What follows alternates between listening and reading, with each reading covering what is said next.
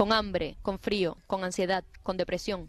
Más de 2.000 niños y adolescentes refugiados intentan sobrevivir solos en Grecia. Duermen en las calles o en centros de detención. Son captados para tráfico y trata, nunca se sabe bien los fines eh, para los que se les utiliza y son víctimas más fáciles para todo tipo de violaciones, abusos, violencia. Arropados con bolsas de plástico como esta, se enfrentan al invierno con la esperanza de salir de la lista de espera y acceder a un albergue, pero todos están saturados. Es urgente trasladarles desde las islas griegas a la península. Estamos pidiendo que 7.500 personas se trasladen de las islas están ahí hacinadas a consecuencia del, acuerdo de la UE-Turquía que impide que esas personas puedan ir al continente.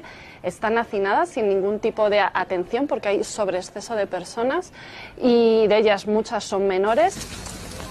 Las organizaciones humanitarias piden más financiación para los albergues griegos, pero también la reubicación de estos menores en otros países de la Unión Europea. Que se agilicen todos los mecanismos de reunificación familiar, que se concedan visados humanitarios y, por favor, que cada, cada país, incluyendo España, asuma la cuota de asilo que, a la que se comprometió. En el mundo hay 28 millones de niños refugiados y migrantes. El momento de más peligro es en el momento de las rutas cuando los niños están en camino. Mientras Europa celebra la Navidad, miles de niños se enfrentan solos al frío y al peligro.